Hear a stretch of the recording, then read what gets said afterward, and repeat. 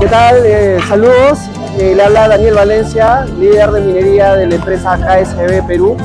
KSB es la corporación. Eh, nosotros nos dedicamos a la fabricación de equipos de bombeo y válvulas.